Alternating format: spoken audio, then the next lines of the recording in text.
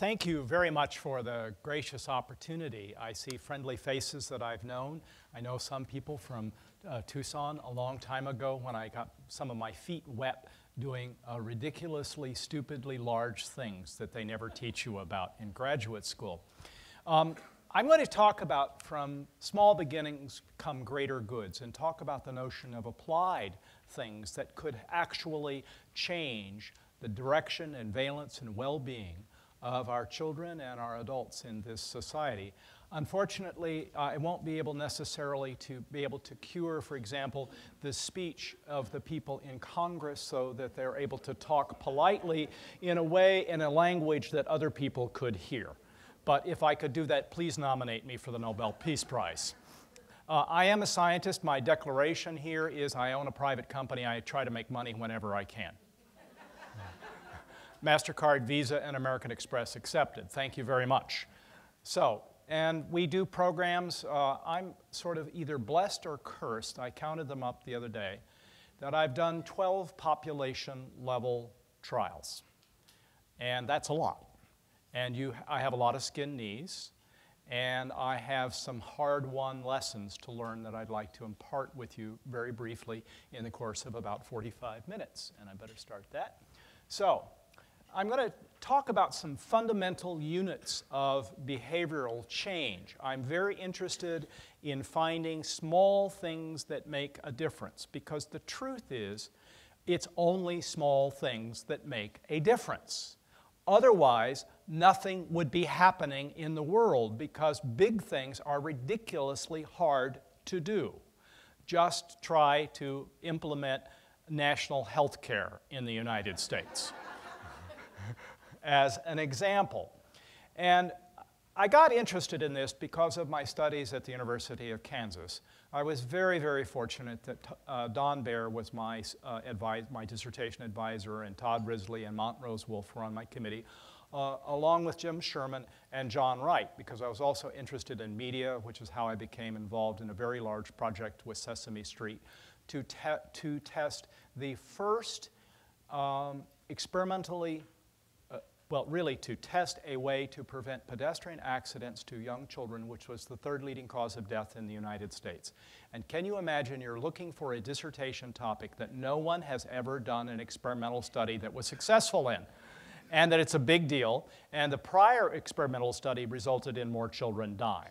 So, one of the first things to remember if you're going to do anything large is remember you have the possibility of harm.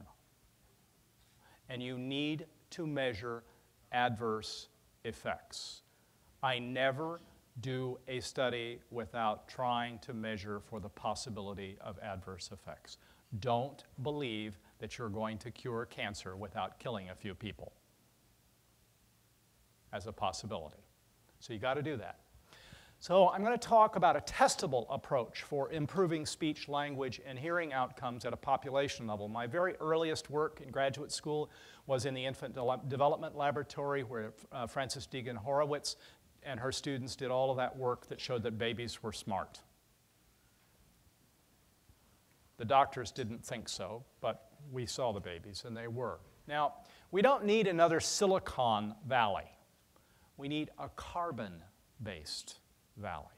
We need a valley of enterprising people who are going to think about solving our carbon based problems. We are not made of silicon, we are made of carbon, and all life forms exist on carbon. And we have a periodic table, and people talk about that. So our iPhones and iPads and computers run on silicon and a whole bunch of other heavy elements and other things. But they don't run as a life form. We, however, are carbon based and we run on carbon, each other. Now, what we have to do is begin to create a periodic table. From that periodic table, if you're a chemist or an engineer or something, you can create an amazing array of things but you actually know the properties of each one of those components, how they work in the world. And then we begin to learn how to put them together to make something that's completely novel that has never happened before in the universe. That's a pretty cool thing. But we need to think about that also in the context of speech, language, and hearing, what are the fundamental units that we're manipulating? Do we have a science for fundamental units? I mean, I think back of Todd Risley's study and Betty Hart's study of the meaningful differences. That is the most amazing study in the world. Micro coding of all of those interactions and the PD11, uh, PD11 computer that that was done on was on the reverse side of my office and I could hear that damn thing operate all of the time. And we had a, a 10 megabyte hard drive that was the size of a telephone booth. that was a big deal, and it happened. So I'm arguing today for creating that periodic table for our work, um, simplicity.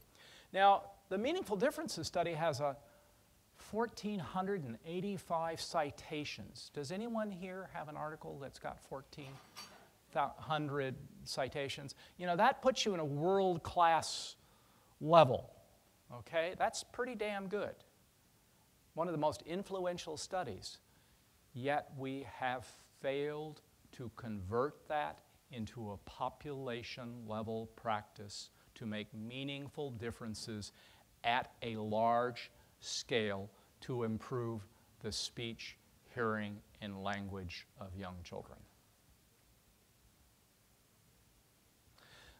Charlie Greenwood has developed a little app. I think it works now on or could potentially work on a phone, and it can code the same kinds of things that we had all of those observers that went out in the Meaningful Differences study. But we've not used that particularly. For example, there could be an app that was giving feedback to families about their meaningful differences in language composition. That's a possibility to use silicon to change carbon life forms. Now, I'd like each of you to reflect on your own knowledge. We have 130 people, I believe, or 120 people. Is that right, Leslie? Nancy? Okay. So, each of you has a vast storehouse of knowledge. I know Rob does. Pam's got some, and other people have got some pretty amazing units of knowledge about changing human behavior related to speech and language and hearing. I'd like you to think about that. Think about the simplest practice that you know, something that could be taught to many people.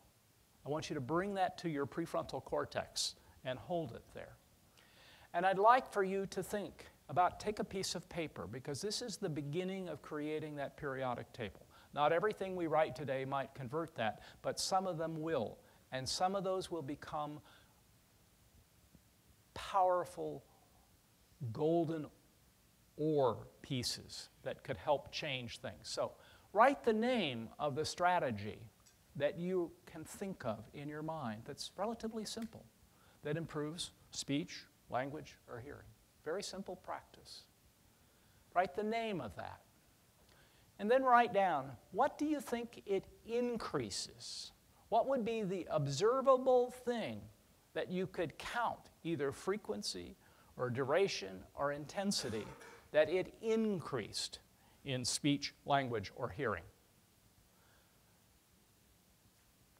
As you're thinking about that, also think about what it might decrease, what that simple strategy might decrease in frequency, duration, or intensity. Now, one of the things I've learned in doing 12 large scale projects is always measure both the increase and the decrease. always do that. They are not seesaws. We proved that in our Peace Builders study. I thought just because we increased pro-social behavior by 0.7 effect size, with only four hours of in-service training, I'd see almost the same reciprocal in disturbing disruptive behavior. No. Children could be, have pro-social behavior and be little at the same time. What a novel concept. so, what it would increase, what it could decrease. How many people could benefit by that strategy potentially in North America? how many people could potentially benefit by this strategy in North America across all ages, whatever you think those age categories are. That is what we would like to reach as the population number. Not necessarily that we're going to get there. And what's a good reference for the strategy? Just, you know, one simple reference that comes to mind. So if you ask me, you know, what was this absolute reference that I would tell people they need to know about the uh, good behavior game? I'd say Barrish, uh, Saunders, and Wolf, 1969 in JABA. In.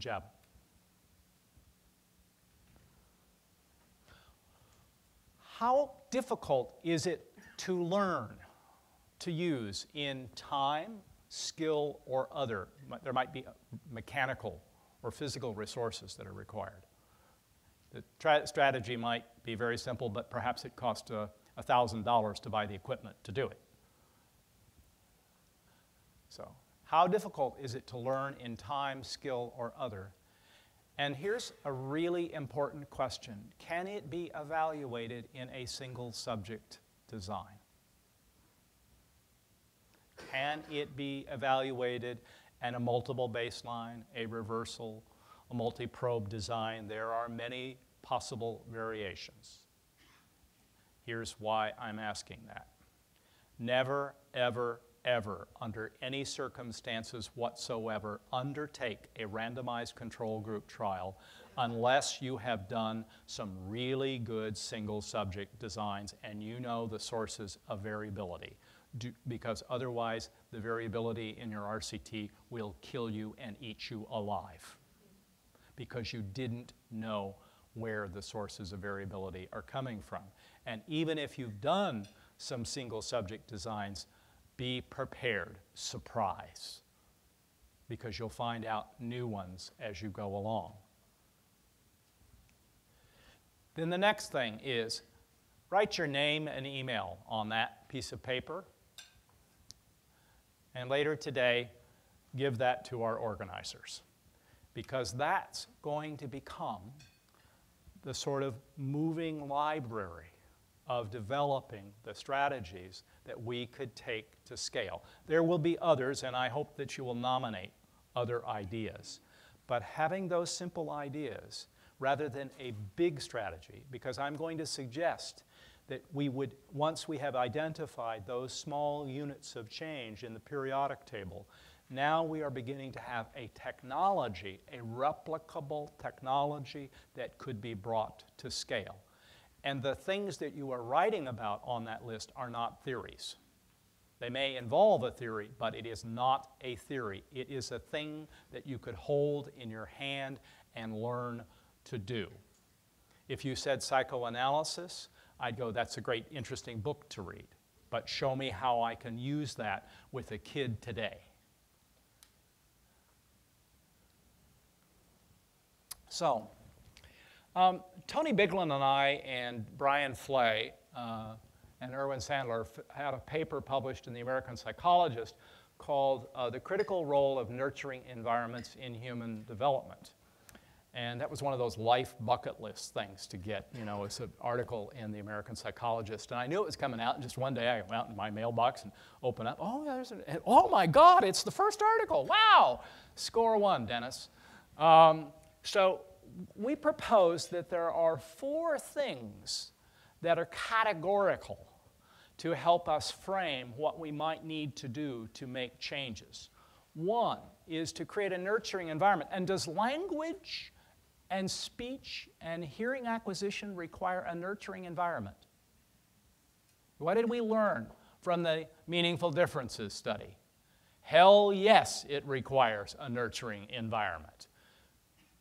And it's a huge effect from very tiny things. So, for instance, their study shows that the kids who are doing well are richly reinforced for positive behavior and their language acquisitions. We have to limit exposure to problematic behavior. Rob over here is pretty much, you're involved in a lot of that in trying to reduce problematic behavior in schools. Because we know that that problematic behavior is basically contagious. And the other reason we know that it's contagious is what is the principal predator of humans since the invention of stone tools? Other humans. And what is the principal source of safety for said humans since the invention of stone tools? Other humans with other stone tools. So, understanding the evolutionary dynamics that we are operating in human systems, humans are the only species that are both eusocial and predatory of each other at the same time. That's a very interesting complexity. So, limiting the problem, exposure to problematic behaviors, so in meaningful differences, we see that by uh, the issue of folks, all of the negative imperatives stop that, don't do that, those kinds of things that have sort of catastrophic effects on children's development in increasing oppositional defiance and conduct disorders. And by the way, most uh, mental, emotional, and behavioral disorders are not disorders. They are evolutionary adaptations to when human society goes nuts. That's an important thing to remember. And now reduce toxic influences. So toxic influences can be social and they can be biological. Uh, one of the things is a lot of us were trained, I mean, I'm trained in behavior analysis, obviously, and, you know, we were not, not supposed to touch those physiological things, you know. Just like, those are bad, don't talk about those things. You can't do that. Can't ignore a whole branch of science. So now we're interested, for example, in uh, how, what are some of the causes of the rising levels of mental, emotional, and behavioral disorders, which include learning disabilities. For instance, there's been a, has anyone noticed that we've had a major dietary shift in America? Okay. You may or may not know that one of the most significant dietary shifts that's accounting for mental, emotional, and behavioral disorders is the change in the omega 6 and omega 3 ratio in consumption, even during uh, pregnancy. So, if a woman, for example, consumes low levels of omega 3 fatty acid during pregnancy, i.e., fish, oily fish, uh, she uh, will likely, uh, 32% of those women's children by age 8 will have developmental disorders. 15, 32%. Now, if they eat oily fish, only 15% will have developmental disorders by age uh, 8. That's in a huge study, the ALSPAC study in the United Kingdom funded by the National Institutes of Health. Now, so we have to pay attention to those kinds of things. And once you understand the physiology of omega 6 and omega 3, its linkages, how it affects human behavior, the acquisition of behavior, the reinforcement system, all of those things begin to make sense. And then when you look at it in evolutionary and anthropological things, then you begin to understand why some of those things were selected by humans. So, for instance, one of the things we know that autism spectrum is, is autism spectrum disorder increasing in this country? Yes, it appears to be. Okay? So, I mean, first time people started talking about it, I only had one kid with autism spectrum disorder at the University of Kansas, and we got all those kids across the state because we were the sort of tertiary place. So I only had one. Well, I learned, for example, that vitamin D deficiency helps predict the rise in autism spectrum disorder, which varies by latitude and varies by skin color and diet. So a whole bunch of very interesting things can vary in there. Now, we also have to increase psychological flexibility. Psychological flexibility, this is the work of Stephen Hayes, who's really great work on relational frame theory. Now, I do recommend that if you try to read that book, put it beside your bedside because if you suffer from insomnia, it will cure it without any adverse effects. it's very heavy reading, but important. Um, psychological flexibility is necessary for us to adopt and use new practices, for us to, to be able to open ourselves up to a new theoretical construct. Just because I was trained in behavior analysis doesn't mean that I should be blind to anthropological things or findings in medicine. I better be smart about these things. Um, now, uh, we also, Tony and I wrote a paper in 2008 called Evidence-Based Kernels, Fundamental Units of Behavioral Influence. Because I'd written several papers before, I'd gotten in an argument with Rico Catalano. Does anybody here know Rico Catalano?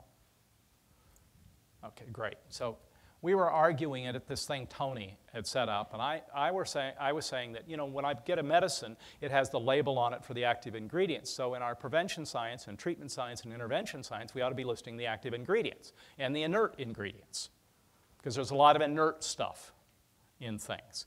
And Rico said, no, no, no, because people will start to roll their own. And I said, that's a good idea. You know, this is California. so um, we started arguing, and then uh, we, one of the things I asked them, they were doing a um, comprehensive school reform study, and so were we. And I asked him, I said, what's the first thing you teach teachers? You know, what's the first practical thing after you get done with the theory? Uh, oh, we teach them a universal signal for quiet. We have them put up the peace sign, and they use a chime or a bell or something like that. I said, huh, that's funny. We use the same thing except a harmonica. Why do you do that? Well, if you can't get the children's attention and change transition times, doesn't matter what all the rest of the stuff is. If you do this properly, you get approximately 144 more hours for meaningful responding in the classroom and teaching. So thinking about kernels came out of that. So antecedent kernel, that would be one of them. Relational frame kernels, for example, for those of you who are familiar with our work in Peace Builders, uh, for example, we gave the kids uh, what's called an Emmanuel, an I am statement. I am a peace builder. I praise people. I give up put downs. I seek wise people as advisors and friends. I notice and speak up about hurts. I right wrongs.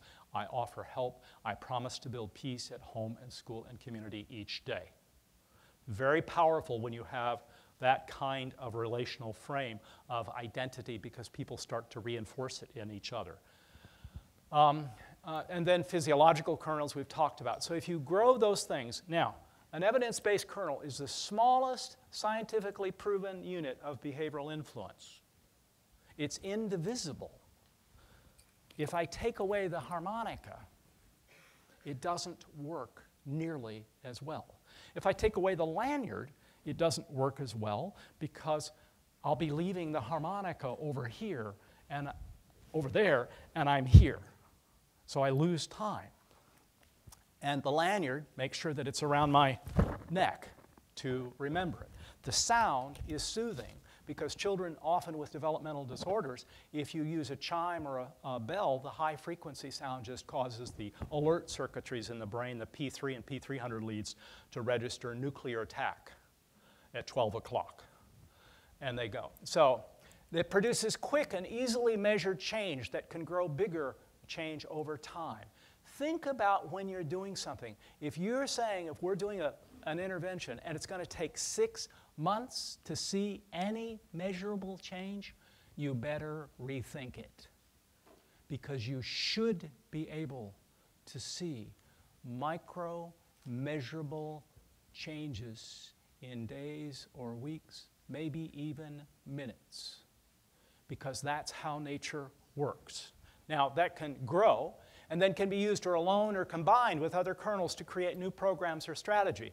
In most of the active ingredients, if you look at the list of the National Registry of Effective Programs and Practices on NREPP, most all of the ones with the highest level of effect size have, uh, if you go back and read their bibliography, they have essentially evidence-based kernels that were all tested in single subject design. So they have lots of active ingredients that are easily noted.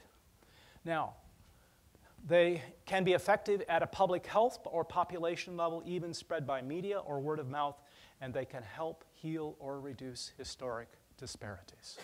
So people, I go to these damn adverse childhood experiences things. How many of you have been to one of those things?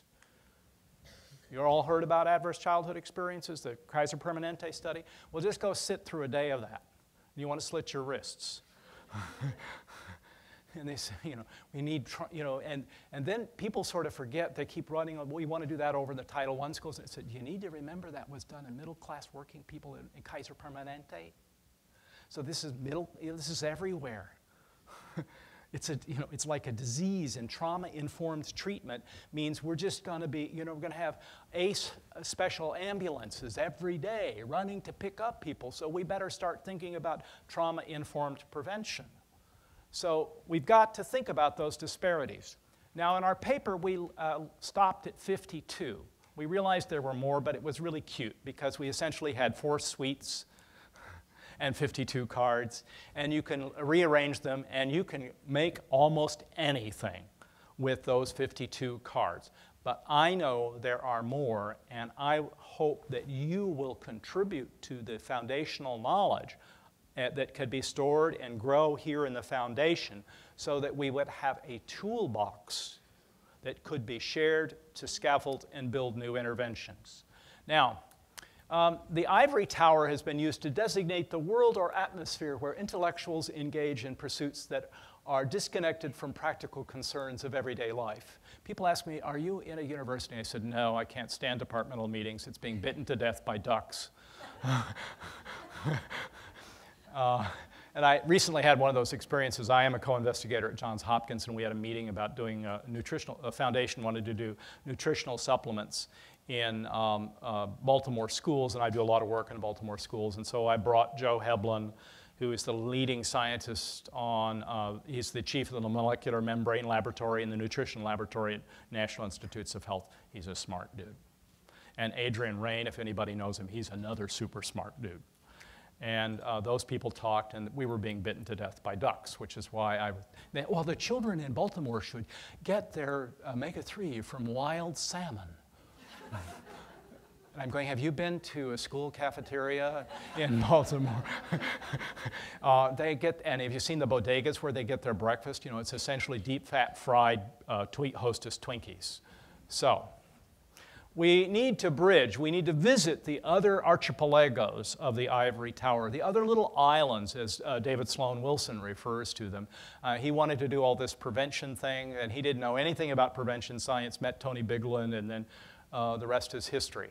So uh, we are, you know, resistance is futile. So now planting and growing your evidence-based kernels. Once you have an idea that something small like this might work, okay, could you combine it? with other things. So, for example, could you combine this with another kernel called Beat the Timer and another kernel called the Premack principle? How many have heard of the Premack principle? Okay, oh, it's a delicious thing in schools. You know, you can, we have over 500 prizes based on uh, the Premack principle for rewards in schools. Don't have to use stickers, don't have to use stamps. But for example, in first grade, uh, we might draw out of the jar, and it's a mystery motivator, so you don't know what it is in the box, and that makes the dopamine circuitry go absolutely wild, anticipating. It's based on the principle of gambling.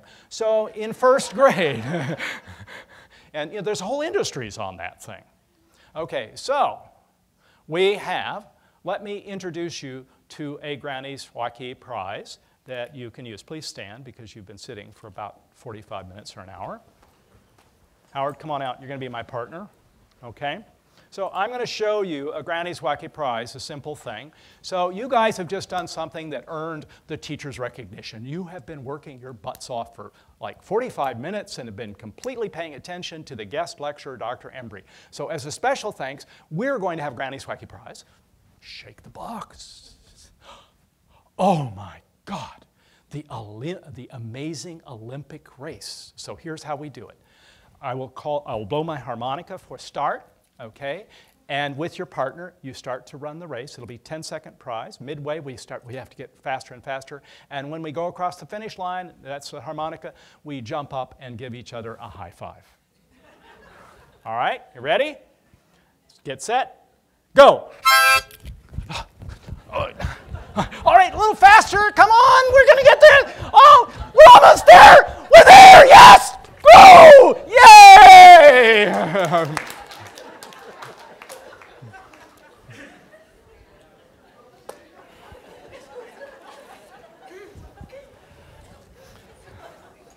you did say for us to, um, for me to make it fun, so I did.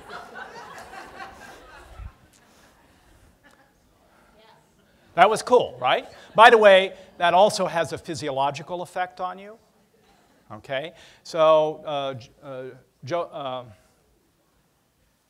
Joseph Donnelly at the University of Kansas has done this amazing study showing that interspersing the day with these brief physical activities uh, not only increase, de decreases BMI, it's the only school-based thing to decrease BMI, but it also, what do you think it does to academics? Improves academics. Why? Well, it changes the brain chemistry. That's the largest, that is the place where people are most um, sedated, if you will, sedentary, in their daily lives as kids. And movement creates brain derived neural factor. Without brain derived neural factor, you can't learn a damn thing because the operant stuff won't wire. You need, I tell people, the teachers, BDNF, brain derived neural factor, is essentially brain fertilizer and it follow, and with brain fertilizer, you can uh, do Hebb's law. Neurons that fire together, wire together. Okay? So, now, they can be developed in um, single subject designs that have easily perceived and measured proximal gains and has robust reliability when implemented versus uh, depending on tight dose and fidelity. How easy would it be to implement something like a little box? With those kind of prizes? Super easy. And who's going to come up with ideas for it? The kids. So you're going to have an infinite supply of ideas for it. And by giving it a cute name, if I called it the Premack principle, just doesn't have good mouthfeel. So, you know, making it, giving it a cute name. Always thinking about the relational frames and the marketing of your tools. Never name your tools after the problem you're trying to prevent. this is a serious mistake by most people in designing programs. Now, it must be, you know, and the robust reliability is really, really good. Does it matter, for example, if the Granny's Wacky prizes are in a box? No. Could they be in a bag? Okay. Could they be in a jar? Could they be in a leftover Halloween treat kit? Yes. Do they have to be on slips of paper? No. You could maybe even put it up on the smartboard and have a thing. So there's lots, that's robust implementation rather than rigid dose infidelity. Um, they have to be conciliant with multiple theoretical perspectives. This is why I hate departmental meetings. my, my micro theory is uh, slightly bigger than your micro theory. and you know, we're measuring now things, we, the, the size in nanometers rather than yards or miles or kilometers. I want to measure big things in time. But the small things do make a difference. But you've got to connect the things and do the crosswalk. So, how many do you think, for example, in explaining to teachers that Granny's Wacky Prizes is based on the Premack principle? That's good. But what really hooks them? When I link it up to brain science. And you know, I got my medical people. I was like, oh, that'd be kind of cool to test that. By the way, could I come and use some of your scanners? I'd really like to do that. so now, can it, and can it grow symbiotically with other strategies? Can we marry them? So for example, since the kids have just given us, you know, we have another two, uh, we made, we, by the way, the transitions go from two to five minutes apiece down to about 10 seconds apiece. I can show you videos of that. And there are 50 transitions in the course of a day in an average elementary school. They normally last those two to five minutes, so that's at least 100 minutes a day of no opportunity to, well, there is opportunity to respond, but the responses are none of the things that we want in this room. They interfere with all of those things. But can they grow symbiotically? So we've, we can pair this with Granny's Wacky Prizes. Kids, you've saved us so much time. You know, let's have a little bit of fun. So we're now rewarding effort, and we've used two things very simply to scaffold something. They can uh, fit into selection by consequences. In the recent paper that we have in Brain and Behavioral Science, we talk about selection by consequences as a major conceptual meta theory. So, Hebb's law, neurons that fire together, is selection by consequences. The Granny's Wacky prize is selection by consequences. I'm going to show you a state level interrupted time series design that uses selection by consequences to reduce tobacco use in minors. So the, that's a scalable thing. And of course, the amount of money that you receive in research grants, in promotion and tenure, is selection by consequences. so you'll be able to come up with other things. Some kernels, in combination or kernels, are used often and may improve the indicators of well-being, reduce morbidity, and possibly mortality. Uh, that's a now we use a phrase for when some of these things are used a lot. They're not programs. This is not a program. So I struggled to figure out a naming for things that were naturally occurring. What Todd and Betty observed with meaningful differences was not a program. Perhaps it was programmed by evolution, but not a program. You know, open your manual to page 101 and read the instructions there. It wasn't like that. So, what are things that might be protective that you use on a daily basis? And the paper uh, posits one of the first ones the analogy we give how, how many people here have had a baby? How many people here were a baby at some point? okay, you owe your life to Ignatius Semmelweis. In 1840, uh, he had three maternity wards. And he noticed that uh, the wards that were maintained by the physicians had very high maternal and uh, morbidity. About 26% of the moms died in childbed fever. But he noticed that the maternity wards tended by uh, uh, midwives didn't. They had only about a 1%. But he noticed that they always washed everything. So he undertook a little experiment. He used a tincture of chlorine, which we, you can buy as a product at uh, Target and Walmart and grocery store. That's called bleach, Clorox. Okay? So we did this in an interrupted time series design across three maternity wards. First maternity ward, he does it with the uh, tincture of chlorine. Mortality, morta uh, mortality drops down to 1%, stays that way, no change in the other two maternity wards. He decides to try a different variation, so he tries a tincture of carbolic acid, which has the same properties of being an antiseptic. They didn't know about germs, and whack, down, and then he does the next one. He presents all of this to the Viennese Medical Society, and they promptly have him put in a mental institution because it's Eve's curse that women die in childbirth. Do you hear the psychological inflexibility? of course, it was true, and it wasn't the only, there were other people who had replicated this same phenomenon, but they didn't have the internet then. It took 40 years for this to become common practice. That, in my paper, I argue, is the first experimentally tested behavioral vaccine. You use seat belts, you brush your teeth, you put the gates across the stairwell for your babies, the electric, the little plug sockety things, those are behavioral vaccines.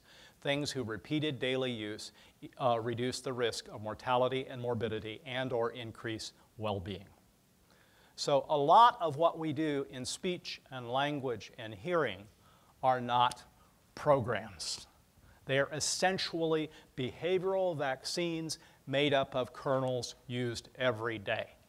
It's important for us to change our thinking from programs to explain these things as something that you do every day. Because will a child, if they have a 10 hour program in speech and language and thing, be changed for life? Probably not. It might have an improvement, but you got to repeat. You know, I can't just brush my teeth once or wear my seatbelt once. It's an everyday thing to do these things. So, Now, here's an example of an evidence-based kernel recipe as a behavioral vaccine. We have a relational frame. In Wyoming, in Wisconsin, we do the right thing by not selling tobacco to minors. That is the language of promotion. Uh, we have mystery shoppers, which is an evidence-based kernel. The mystery shoppers go to the store, and do mystery shoppers look for the good or the bad? They look for the good. Because if you've done the right thing, you get some kind of, maybe not a Granny's Wacky prize, but you get a gift certificate and an attaboy and an attagirl kind of thing. So the mystery shoppers went out and reinforced the clerk and the store, and they did it on public posting. So we had a scoreboard every day for every single county in Wisconsin, and those were announced on the, on the radio station so the kids who did the mystery shopping, let's say they were in Eau Claire, Wisconsin, and they gone and they call the morning AM show. You know, every community has a morning AM talk show. And so they call up and, hi, this is the Wisconsin uh, youth team, and we're out at uh, Bill's Bait Shop at Ake Wogie Nogie. And we just want to tell you that Bill's Bait Shop did the right thing by not selling tobacco to us minors, and they're helping our youth be healthier, happier, healthier, healthier and happier for their whole lives. So ring that bell on your radio show. Ding, ding, dong, you know, the cowbell rings. And we gave out cards to all the elected officials who, with their names printed on it that they could give to the managers of the stores or the clerks, thanking them for doing the right thing. And they said, Well, how do we know if they're doing the right thing? I said, We've gotten the rate down to less than 5% of the time that they're selling tobacco. So you're going to be rewarding most of the people in the portion. Schmuck who gets the card from you that's sold is going to be reminded, Oh, this is the community norm. Hmm. So what did that do? We, this was a study done by, originally by Tony Biglan, and it's a small-scale study.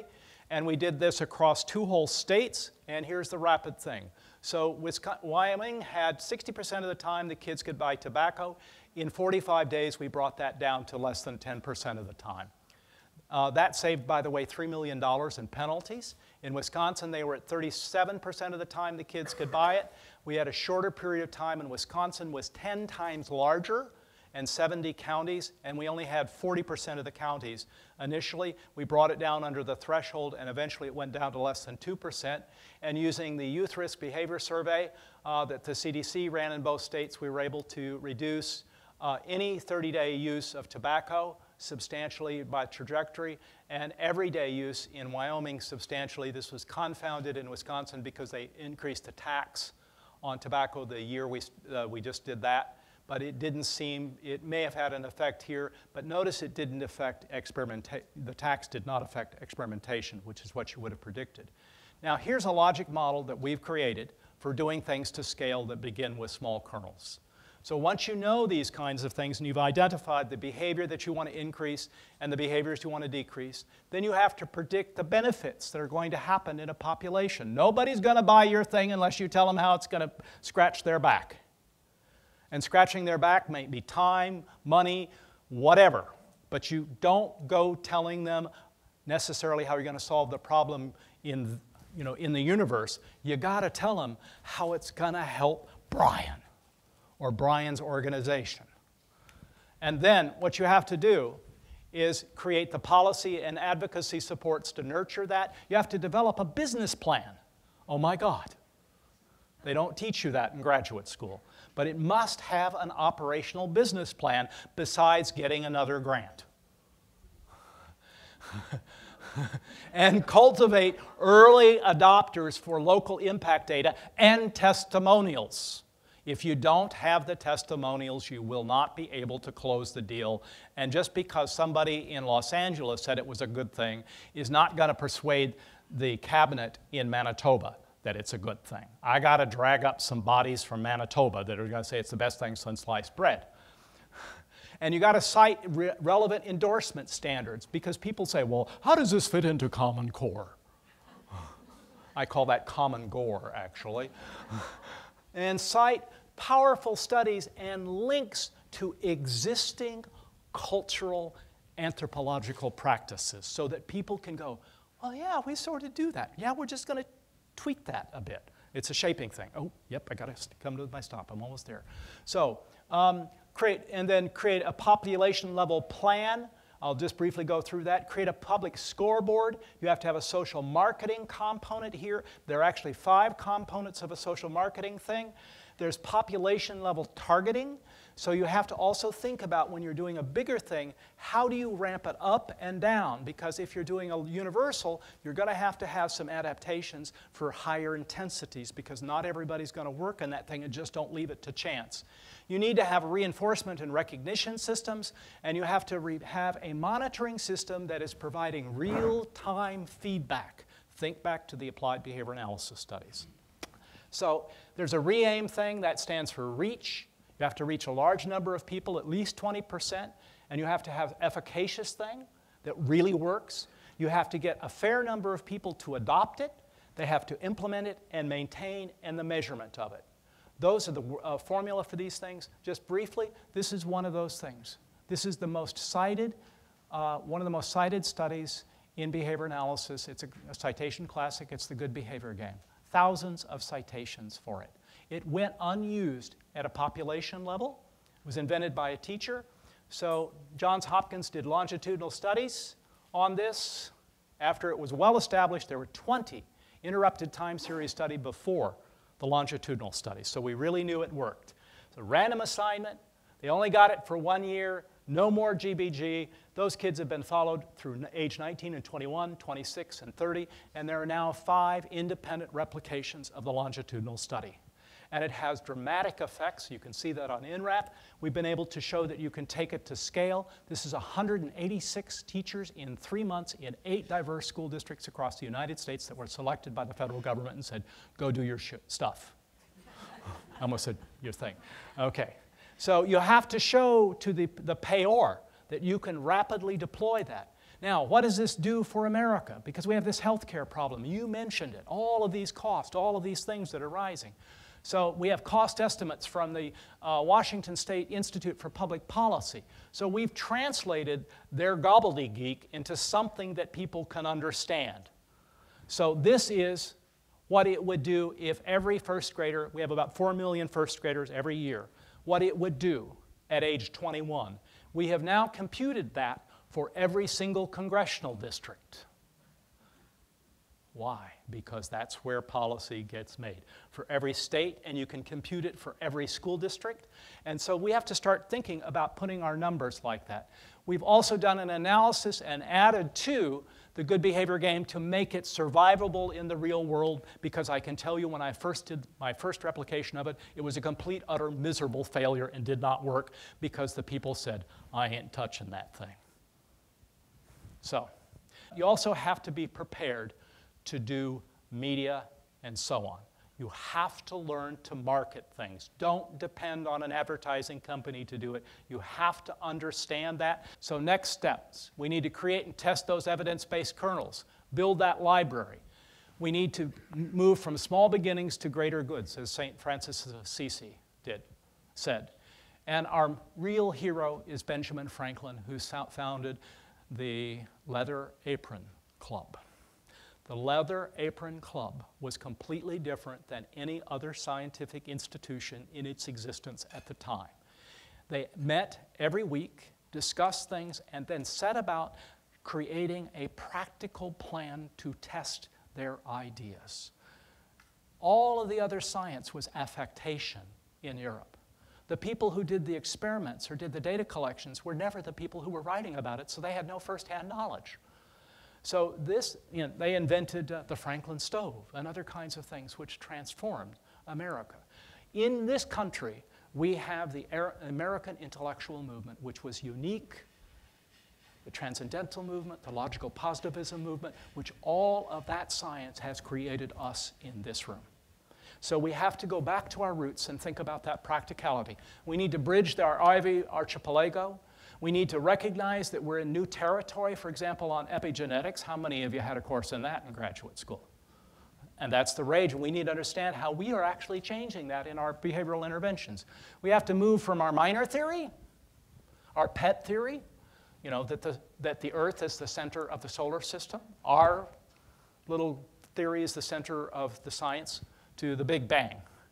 We need to consider the sheer joy the sheer joy of being able to do something great um, for speech, language, and hearing for our children's futures, for our futures. Thank you very much. Thank you for a Yeah. wonderful talk, and so wonderful that you could relate to our world so well. Thank you. Um, I'm Margaret Rogers. I'm the Chief Staff Officer for Science and Research at ASHA. And um, I really um, liked your kernel approach. I like that it was evidence-based kernels. And my question is, clearly at some point you leave the evidence-based trail and you mix kernels together. You probably don't have the time or money to test all those permutations. Right. What is the, the method to get from kernels to packages and feel like you're still walking the evidence-based walk? Am I getting a hug? Better yet. Ah. I'm old fashioned, dear. Well, okay. That's Okay. It, was- it was Yes. the same emotion. It's I. I, Yeah. I, I, I at least knew you weren't coming to punch me, so Oh, I yeah. appreciate that. Okay, it's a great question. So the answer is continuous measurement. And so we, for example, with uh, PAX GBG, we have an operational measurement system that is measuring essentially engaged minutes, which is opportunity to respond. And we're measuring the rate of disturbing disruptive behaviors uh, per um, hour, actually. And it's a coarse one. But we use that as we do new permutations to keep looking at that. And so we have now, we've, we've done this in more than 650 schools, thousands of classrooms, all 38 states now, Canada, Ireland, Estonia, et cetera. So we use those data to look at them and we're very alert for problems. And then you kind of tweak the permutation. And the first thing we look for is the rapid rate of adoption and then the sustainability. And the other thing that we've done, and I, and I uh, suggest you do this, is never go for large print runs. Unless they're dirt cheap, because you're going to wind up throwing away a whole bunch of paper. Uh, so that way you can make incremental improvements. So we use demand uh, digital printing for our manual. Now we've actually gone to offset because we've gotten it stable enough that it's pretty reliable. That doesn't mean that we don't want to make changes, but we're doing that very carefully. So continuing having your ongoing measurement system that's both for proximal outcomes and process outcomes. So we created a rubric to measure those kind of implementation factors and then monitor that. And then every month, now and then, we're also very attuned to spontaneous innovations that people do. Some of them suck. Some of them, for example, are fantastic. Like one of them was a teacher when we were observing in Syracuse. Um, the, normally the teachers announce, you know, what the disturbing disruptor, we call them spleems, that's a relational frame that controls his phili- physiology. But the teacher asked the kids to predict what would be PAX, the good, and spleems before they played a game, and then asked them to debrief it. And as soon as I thought, oh my God, that's self-regulation right there, we're putting that in now. Why didn't I think about that? That's how. Hi. Yes. Uh, My name's Rebecca McCauley, and Yes, I'm at. Ohio State. And um, the question I have for you is that looking at interventions, there is a great deal of, of uh, reward to individual clinician researchers to develop an intervention that has their stamp on it, that's associated with them. And it may have, you know, I, having been involved in some projects that look at related interventions for a particular area, you see these common elements that I think could vie for status as a kernel. yes. But how do you break down the, the tie that people have to their particular package? And this is something that I think you also have to deal with at the level of the individual clinician, who may end up with their set of kernels that they're particularly tied to. And it may be that we're going to hear about this from the anthropological point of view, but it seems like a big issue for us. Yeah, that's an excellent question. Um, part of how you do that is that you really focus on the psychological flexibility things and pay attention to the work of Steven Hayes in the adoption of innovation. So, what you put people in contact with is their real core values of what they're trying to do.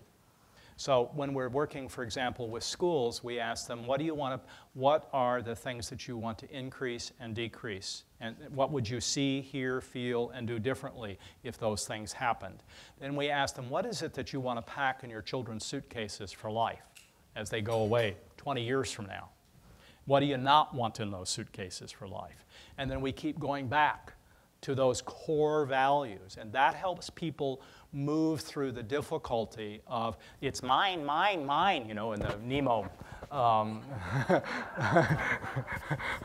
thing. And that's very helpful uh, in, yes? I think, sorry, I went way too fast.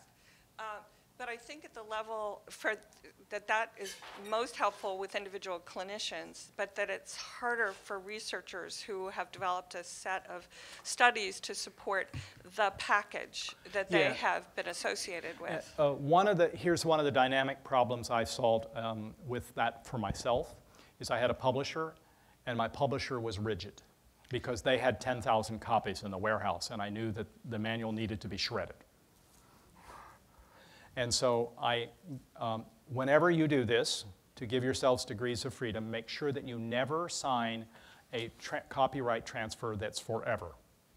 You only, if you do a publisher, maybe have a limited term so that you can renegotiate or kill them if you wish.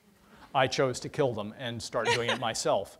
And uh, the great thing was I had total control and I made a hell of a lot more money. And I was able to exercise my dedication to making the change and promoting the change. So I, I can't answer your question fully, but it's, it's a complicated one. Go. Yeah, okay. Go ahead. Uh, So my name is Tara McAllister-Byun. I'm from New York University. And uh, you probably noticed you got a real reaction out of the audience when you said um, always do a single subject design before you move to an RCT. Yes. Um, and I think you know a lot of us in the audience really love our single subject experimental designs, but um, most of us have also found that our grant reviewers don't really love them. And I was wondering if you had any tips on uh, getting that practice uh, through those levels of scrutiny for, from other fields that are not as positive about those methods. Well, I have contemplated the Khmer Rouge uh, re-education camp. uh, Tony Biglan and I have been working on that with NIH. And for them, in their preliminary studies, to really encourage people to do single subject designs, we, we're making a little progress. A couple times when we put them in, we didn't get trashed. And um, so, and that it helps, you know, if you also say, oh yes, and we can actually convert these findings into an effect size. And there's literature on that. Most, most of the people in there who are the RTC folks have no knowledge of the statistical manipulations that are possible. And um, I think it's just also talk to the project officers before you submit to a particular uh, one. Um, but sometimes you can just go do it and use it as your preliminary study. It'll make your life, and you have a publication to cite. They'll never read the publication anyway, but you'll get your money more likely. I, don't, I didn't really answer your question as best I could, but we just have to keep pushing the envelope on that. And I think one of the things, and I did have a breakthrough on this, the Administration for uh, Children and Youth and the Assistant Secretary's Office for Research and Evaluation asked me to write a document with Lipsey on how to create programs when there were no programs. And so we talked, that paper really dwells out, and that's free online. I don't think we, did we put it in the package, the, the government one? Yeah, put the reference in. It's free online and it does that. Great, thanks. Next, please. I was intrigued. My name is Amber Franklin. Amber. I'm from Miami University in Ohio. Uh-huh. Um, and I was intrigued by your connection between Silicon Valley and Carbon Valley.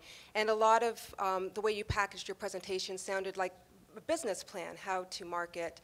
Um, and when I think about Silicon Valley, I know one of the mantras was sort of fail big, fail often.